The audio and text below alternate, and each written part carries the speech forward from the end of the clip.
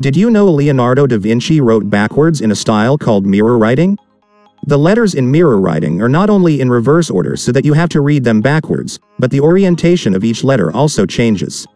You can mirror a text by using a reverse text generator. You can play with words by making them backwards. This tool reverses the direction from its natural way. The URL for the tool is in the video description below. To use a reverse text generator, you need to enter a text as you wish in the first text box. Below the text box, you will see the results once you enter the text. You will see two boxes for results. The first is called reverse text. The second is called reverse text by words. The reverse text result box will only reverse the individual words, while the other result box will reverse the text by words, i.e. reverse of the words in the sentence. You can share the reverse text on social media by clicking on the copy button available on the right side. Mirror text can be used in a variety of ways.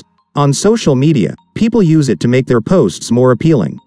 In addition, many social media users use flipped text to enhance their profiles. Most graphic designers prefer reversed text to give their creations an artistic look. This is a great way to get people to pay attention to your work.